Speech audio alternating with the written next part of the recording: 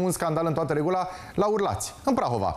După ce primarul orașului a anunțat că vrea să demoleze instituția pe care o conduce, oamenii nici nu vor să audă de așa ceva, iar consilierii se țin lanț de uh, povestea asta. E, mă rog, edilul e de neclintit, clădirea a fost construită în perioada interbelică, e o adevărată emblema orașului, dar spune el că stă să se prăbușească. În același loc promite să ridice una identică. Urlațiul fierbe, iar localnicii nu-l mai privesc cu ochi buni pe primar.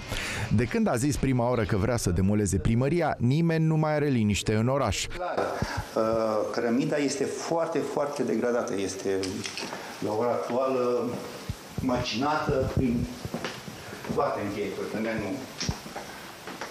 Clădirea a fost construită în perioada interbelică după planurile arhitectului Thomas Socolescu și aici, timp de 100 de ani a fost sediul primăriei.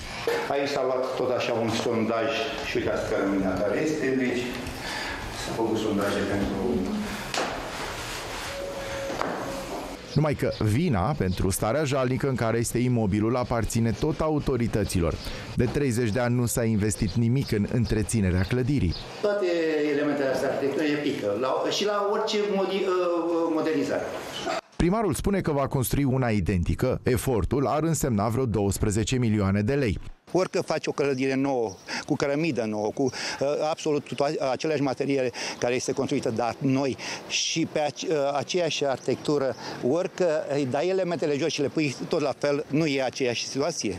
Unul dintre consilierii locale ai orașului a făcut publică toată povestea. El crede că planul primarului de a demola și reconstrui o clădire identică este din start un eșec extrem de costisitor nu poți să uh, dărâmi o clădire importantă de, de patrimoniu, chiar dacă nu este listată pe uh, catalogul monumentele istorice, în continuare reprezintă o clădire emblemă pentru orașul Urlați. Arhitecții au dat uh, uh, hotărârea că uh, și au pus atunci în, în perioada respectivă bulina roșie și au dat ca soluție reconstrucția primării.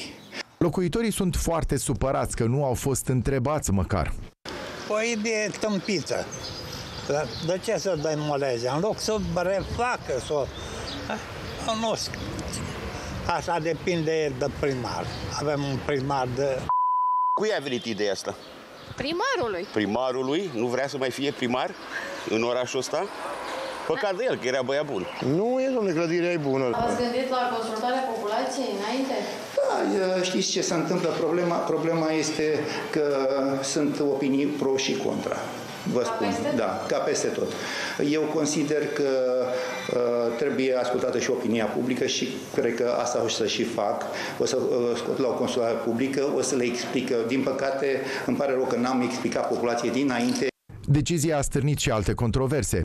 Instituții prestigioase de arhitectură din România îi cer primarului să consolideze imobilul vechi fiind unul foarte valoros.